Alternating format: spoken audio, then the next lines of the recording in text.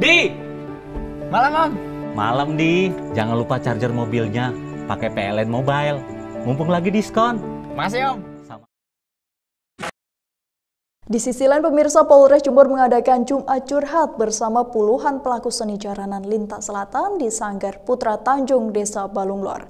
Dalam kegiatan tersebut, banyak pelaku seni menyampaikan keberatan atas himbauan kepada perkumpulan jaranan untuk tidak melakukan pertunjukan di malam hari. Seperti itu sehingga masih buta terkait eh, teori-teori Kegiatan Jumat Curhat ini dilakukan oleh Polres Jember bersama puluhan pelaku seni jaranan lintas Jember Selatan di Sanggar Putra Tanjung, Desa Balunglor, Kecamatan Palung. Dalam kegiatan tersebut, banyak pelaku seni jaranan dari Kecamatan Tempurjo, Jenggawah, Ambulu, Puluhan, Puger, dan Palung menyampaikan keberatan atas adanya larangan menampilkan kesenian jaranan di malam hari. Beberapa tokoh masyarakat juga mengeluhkan banyaknya peredaran okerbaya dan miras yang bisa merusak generasi bangsa. Selain itu mereka juga mempertanyakan adanya fenomena pertunjukan goyang parkoy yaitu joget erotis yang umumnya dilakukan remaja wanita berpakaian seksi sehingga menimbulkan syahwat lawan jenis. Padahal goyang pargoy tersebut sudah difatwakan haram oleh MUI Jember. Pihak kepolisian mengaku sudah menampung setiap aspirasi dari masyarakat untuk kemudian dievaluasi.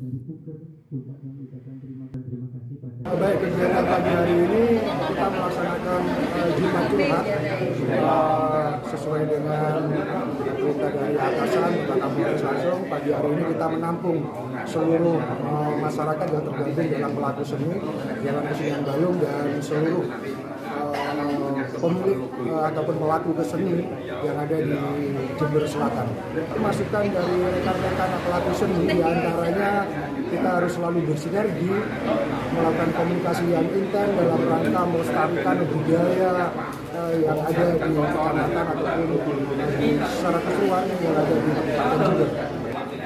uh, semua curhatan dari rekan-rekan pelaku seni sudah kita tampung dan tentunya akan kami evaluasi dan nantinya akan uh, kami akan uh, berikan solusinya kepada uh, rekan-rekan pelaku seni.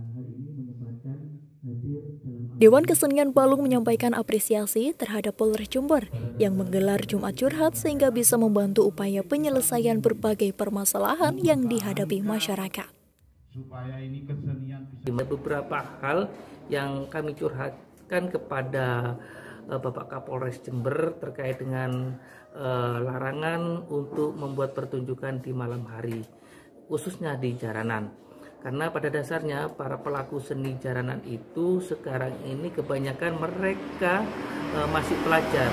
Jika diharuskan main siang hari, maka mereka akan mengorbankan sekolahnya. Eh, kami mohon eh, kepada Bapak Kapolres Jember seyogianya mohon bersedia menjadi pembina kami selaku eh, pelaku seni jaranan maupun reok yang ada di Jember Selatan. Apabila Bapak Kapolres Jember bersedia menjadi pembina kami, maka martabat kesenian atau martabat kelompok kesenian jaranan maupun reok akan lebih baik dari yang sebelumnya. Terima kasih.